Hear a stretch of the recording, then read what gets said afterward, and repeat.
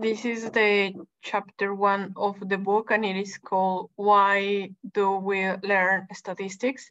And the first part of the book is about the psychology basis of the statistics.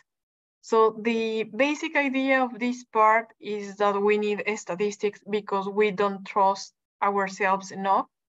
So especially because we are hum humans, so we are susceptible to all kind of biases and temptations. So using only our common sense to interpret um, the world, or more specifically the data, um, is not the like the most appropriate way to to do that. As, yeah, we are biased for our beliefs. So statistics is a safeguard of our biases or our personal biases. So the instincts of our gut aren't designed to solve scientific problems. The author argue that um, yeah, our brains are more made for solve like daily life problems, like like very easily uh, common problems rather than complex, large scale problems. And yeah, nowadays we have like a lot of um, massive complex problems. And is partially derived of the fact that cultural evolution is expected to be faster than biological evolution. Also, this is uh, controversial, but it's something that the author proposed.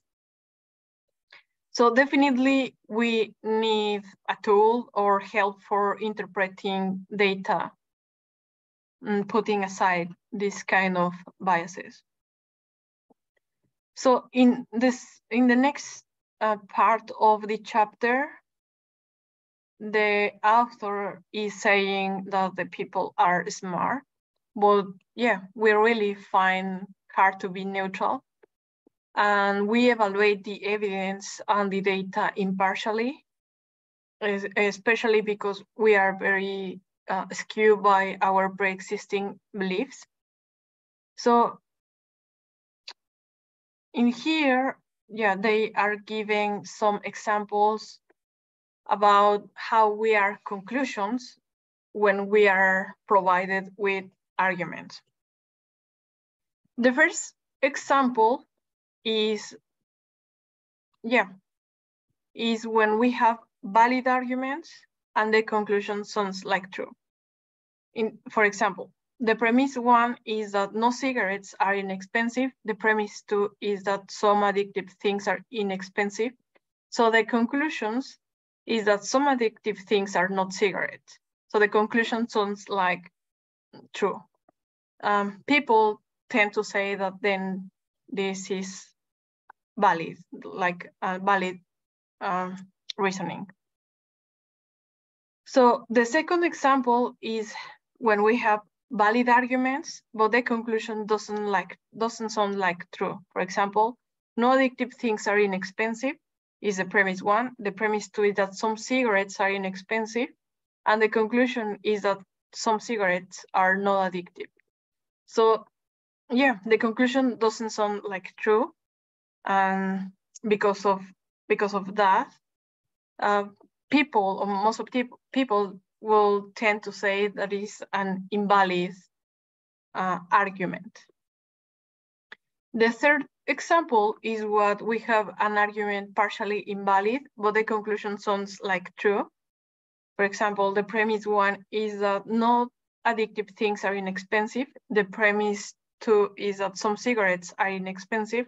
And then the conclusion is that some addictive things are not cigarettes. So the conclusion sounds like true. And then uh, despite the premises are just partially valid, we or people tend to say that it is valid. And the final example is that when we, we have an invalid argument, but and the conclusion sounds like false. For example, the premise one is that not cigarettes are inexpensive. The premise two is that some addictive things are inexpensive. And then the conclusion is that some cigarettes are not addictive. This is like more easy because the conclusion sounds like false. We, yeah, people tend to say that it's an invalid argument. So this, uh, for example, is just uh, uh, showing how we make conclusions for um, completely true or completely false or partially true arguments. So, and how our uh, beliefs or what we think is true or false uh, in, is involved in how we make a conclusion. So here, uh, here the author is giving us an, a scenario that assumes that people are really perfect able to set aside their pre-existing biases about what is true and what is not, and purely evaluate an argument based on its logical merits. Yeah, for this like a scenario where people like is completely really ne ne neutral, we will expect this outcome. When people is given with an argument that it is completely valid and the conclusions feels like true, we will expect that 100% of the people will say that it is a valid argument. And yeah, when people is given with an argument invalid, but the conclusion feels like true, we will expect that no one uh, say that it is valid because it's a completely invalid argument. And we, we yeah, we give a valid argument, but, but the conclusion feels like false, we will expect that all the people is going to say that it is valid despite the conclusion feels, feels like false because the argument is completely valid. And yeah, and when the argument is valid, but the conclusion feels like false, we will expect no one is going to say this valid. But yeah, this is the ideal scenario of uh, non-biased people or completely neutral people. However, previously, uh, yeah, this experiment has been run, yeah, in in the real world, and yeah, this is the citation of the, uh, the this experiment. What and what the researchers found it is that when pre-existing biases were in agreement with the structure of the data, uh, people is going to say, to, uh, we are going to obtain the results. Let me explain better. Uh, when people is given or with an argument that it is completely valid and the conclusion feels like true, 90% of the people said it was valid, which is completely sensible. When people was given with an invalid argument and the conclusion feels like false, only 8% said is valid. Well, so far we have like uh, kind of reasonable, reasonable um, results. However, uh, in the next part, um, looks what happens when our intuitive feelings about the truth make uh, in the conclusions when it runs against the logical structure of the argument. This is when people is provided with an invalid argument, but the conclusion feels like true, 92% of the people said it was valid. And when people was provided with a completely valid argument, but the conclusion sounds like false, 46% said was valid. So this is like crazy because means, here, what does it mean? When people are presented with a strong argument that contradicts our pre-existing beliefs, we find it pretty hard to perceive, perceive it as a strong argument. And that happened 46% of the times. But what it is even worse is that when people was presented with a very weak argument that agrees with our pre-existing biases or, or beliefs, almost no one can see that the argument, argument was completely weak. So yeah, basically what it is uh, showing or the point that the author is try, trying to make is that, yeah, we cannot believe in our common sense or our personal interpretation of the data. So we really need a, a tool that uh, for reduce our personal biases. And yeah, in gen very general terms, statistics can be seen as a tool to increase our chances for making the right decisions. So the next part of the chapter is talking about, is called the cautionary tale of Simpson paradox. The Simpson paradox is some statistical phenomenon where an association between two variables in population emerge, disappear or reverses when the population is divided by subpopulations. So it is, yeah. Let, let me, yeah, here is uh, the example. Yeah. This is the example the author is providing in the book. Uh, in the 70s, the University of California, Berkeley was object or some suit because, yeah, people was, uh, yeah, seeing the statistics, the, the people saw that of the total of men applicants, 44 percent of them were uh, accepted in the university. But in the case of the women, only 35% got accepted. So yeah, they start to like um, this serial of sweats because they say like they had like this gender bias towards men. And yeah, when the researchers to respond to, to uh, that thing, they uh, separate the data in subgroups, which is by departments in the school. Each one of these groups means a different department.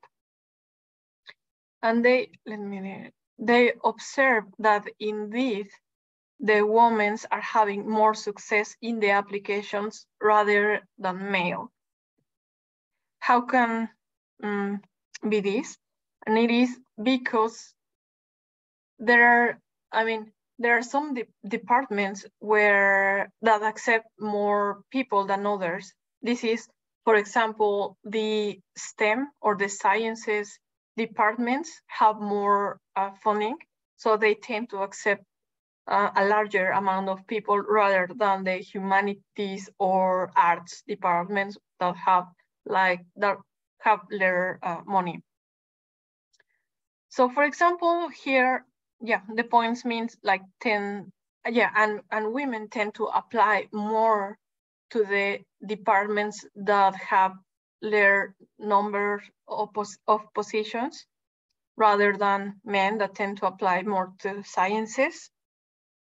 So in this chart, in this graph, the points means like 10 applicants. For example, we here we have a department that accept like more people. And we can see uh, indeed women got accepted 82% uh, of the times, while the men only got like 62% of the times. So, and yeah, this is like almost consistent for every one of the departments. So it is like, it is, yeah, these like general results in the, in the averages are an artifact of how like the data are structured. So if we combine this data, we can observe like these, these, these um, average results, but yeah, it's just an artifact of how the data are structured. So yeah, so yeah, here here it says that uh, yeah, where they conclude in in the final doc document they conclude that women are affected more by the social schemes and the educations that make that um, they tend more to apply for fields that doesn't involve like hard sciences um, but not by the university. So, and yeah, what the book is trying to show with, how come I, sorry. What the book is trying to say in here, what is, yeah. Nope, it's open, possibly, sorry. Yeah, what the book is trying to say, it, has, it is that our, again, that our like um, general feeling or interpret general interpretation of the averages or the general patterns of the data can lie us. So we really need more reliable tools to interpret data and consider as well the structure of the data. Um, yeah, the last part of the book is specifically why we need statistics in psychology. Um, yes, basically because psychology is um, a statistical science. Um, yeah, uh, it's uh, the author says that at fundamental level, psychology is harder than physics. This is because the humans are complex entities and to understand like their behavior or their um, social patterns, you need to involve a lot of like random and com complex variables. And for example, uh, in, in the opposite case, the physi physicist only, for example, study, let, let's say, for example, the atoms, that doesn't involve people like trying to sabotaging an uh, experiment, for example. So he said that at the very end, psychology could be harder even than physics. And I think could happen with other like uh, sciences that involve social or biological entities. But yeah, um, it's raised the question, can someone else do my statistics in psychology? and the author says like no because um, statistics is deeply involved in the research design so you uh, or psychologists really need to know statistics to perform good and strong research designs and even for the basic understanding of the scientific literature they need to understand basic statistics and yeah, the final reason is that statistic nowadays is really, really expensive and indeed is like a priority skill in some countries. For example, they put the example of Australia, where there is like a top priority uh, hire stati statisticians because they, there is some scarcity, so they will get very well paid in, in, in Australia. So yeah, basically for a normal, um, like a student of psychology or some researcher that is just starting their career, could be really expensive pay someone for doing their statistics. So, and yeah, the, uh, another final reason is that we live in the 21st century and data are everywhere. And yeah, what else? Ah, yeah, and also another reason to learn statistics is that they're they are in basically everywhere. And here his comment um a personal experience. The, the author like comment a personal experience where uh yeah it I think it's a woman. Uh, she took like 20 of the most recent articles posted in a website. And of those, he separated eight that were involved with statistics topics and analyzed them or review them. Review them. Uh, they saw that six of them made mistakes. So at the very everyday life, basic statistics knowledge about basic statistic is helpful for trying to figure out when someone else is either making a mistake or even lying you. So for everything you need to learn statistics. And yeah, this is the chapter one. That's all. Do you have questions or comments?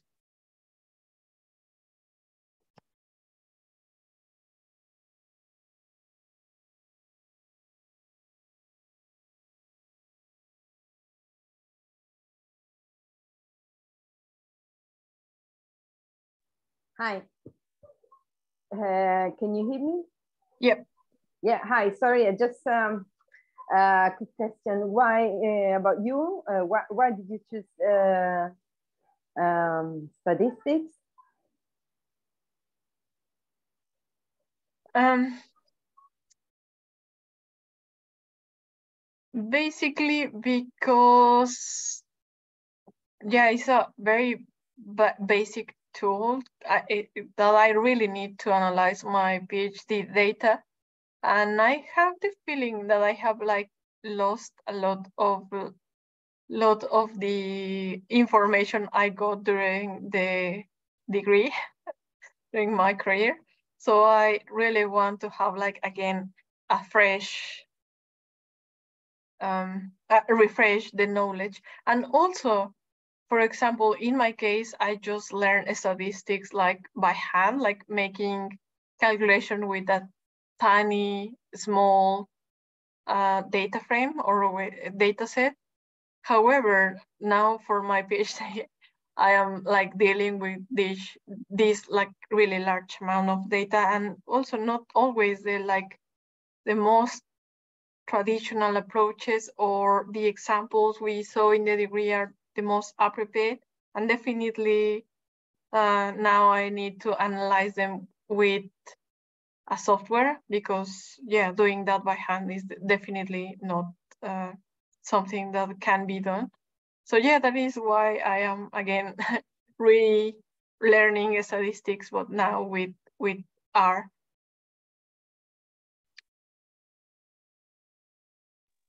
Yeah, thank you. Uh, it's a it's about the same the same for me basically.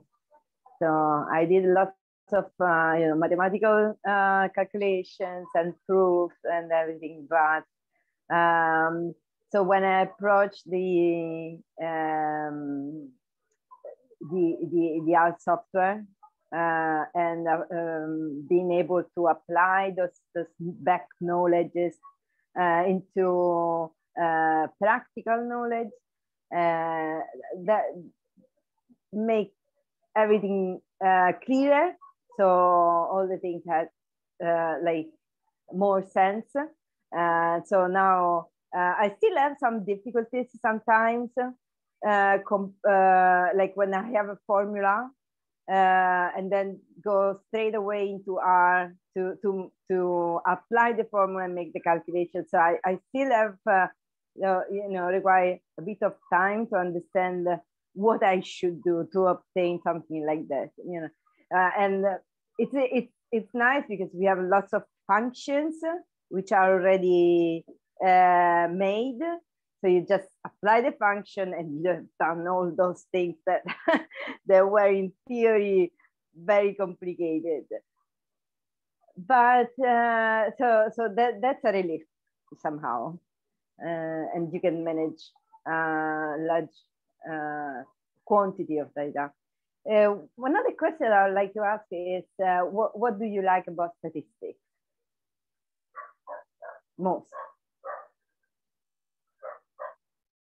Mm. I had no thought on that.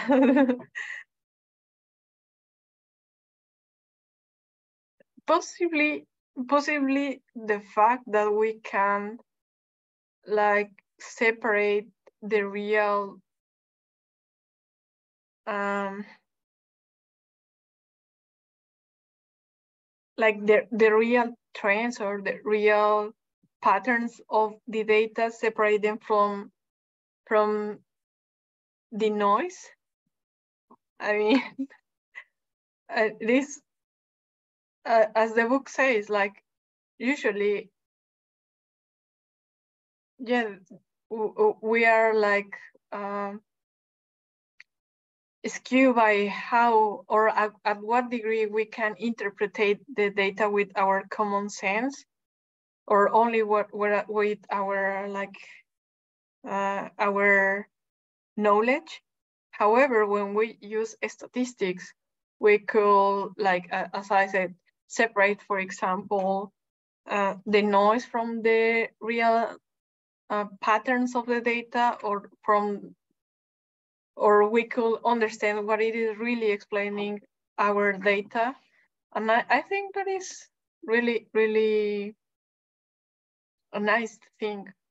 As definitely the, the chapter is something that is like saying that we can observe, observe and uh, obtain and see things that we could not see without the glasses of the statistics. Yeah, it's it's something that is I think statistics is like really really um, cool things or tool to use. Yeah, what what what about you? Do you have like something especially that you really like about the statistics? Yeah, yeah, uh, yes. Obviously, uh, okay. I, I, I love maths uh, and numbers. So everything that is dealt with numbers, it's uh, um, something I'm interested in. Uh, but as as you said, statistics like uh, releases uh, gives out a summary of your of the data, so you can just um, um summarize the most important information and then uh, um, say explain a phenomenon uh, through a uh, few numbers uh, and uh, this is very very exciting but something that back back to my back to my school time um, something that interested me about statistics was that it, it is everywhere. It is uh, it can be applied to um, uh, all topics basically. So you uh, it, it, it's it's very uh, useful um, um, set of tools that you can use to uh, and they, it, they can be, it, be applied to everything, basically, to politics, to economics, to uh, you know health. Uh, every, everything can be explained through statistics, and so uh, it is fascinating uh, because even through looking at the news um, when when you look at the news uh, on TV or you read a newspaper, you find the, the summaries of uh, uh, something that happened, and this passed through statistics. So that that that's what uh, grabbed my grabbed my attention in the early times when I was at school. Yeah, and I think combine statistics combined with coding or with programming is a really, really like powerful tool. As yeah, I I have seen how like few data can be a little bit um, influenced by the variance of the individual data, but using this large amount of data could like be really, really a powerful tool to uh, see how really a phenomena is behaving and what are the things that are driving that that that thing. I, I think combine these two things like statistics and with coding could be really a powerful tool for yeah for understanding as you say things in in a lot of uh, fields. The, from like basic things like the news or uh, economics phenomena or uh, social phenomena until more complex like climatic or yeah similar things or physical things. Yeah I, I, I really combined could be really a powerful tool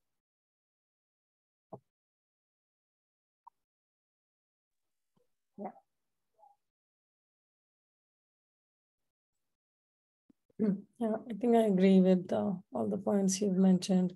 Federica, I think nicely said that, you know, statistics gives you that power or tool basically that lets you you know play around with data summarize it and and look at it from different um, aspects and make sure that you're able to get you know even though you have big data but you can scope it down in in terms of averages of maybe category subcategory and you know overall and whatnot. So it, it helps you understand and digest the the kind of data that you're looking at from granular point of view. And you don't have to actually look at you know all all the row level data and it gives you that sense. Um and uh, i guess i just wanted to sort of uh, um, put ryan on spot because we have ryan this time joining us hey ryan so since you were presenting earlier so i didn't want to interrupt and all the time so we can we can have him uh, maybe introduce himself Oh, sure. Hey, everyone. Um, yeah, my name is Ryan. I uh, have been interested. I started this book on my own um, maybe a year ago and, and, couldn't make it through. So um, just happy to be able to join. Um, I recognize a couple of familiar names, Priyanka and mm-hmm. Federica. We've been on some book clubs before, so it's nice to uh, nice to meet you, Esmeralda, and I'm looking forward to continuing. Yeah, great to see, uh, have you back, Ryan. Um, I think you've been pretty busy off late. Yes. But, uh, I'm glad to see you here. yeah, yeah. I took a, a, hiatus for a little while, um, but yeah. glad to be able to be back. Yeah, no, and I think that was a well-deserved one. I remember I I actually pointed out one of one of the book clubs where you're like, we've been doing so much. So you, from the time you picked up R to maybe for a year or two, you were like, so rigorously working on it. So yeah, I think that was a well needed one. Yes, indeed. Thanks.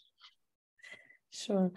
Okay, so um, I think let's let's sort of um, wrap it up saying so thank you Esmeralda for uh, taking us through chapter one. Uh, we met for the first time with, with this group um, last week where I covered chapter three actually started with the introduction of um, you know introduction section of R.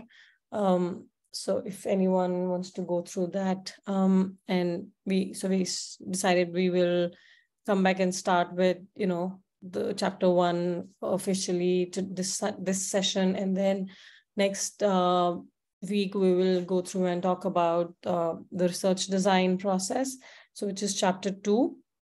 Um, i think we still have uh, the volunteer space open if anyone wants to present that.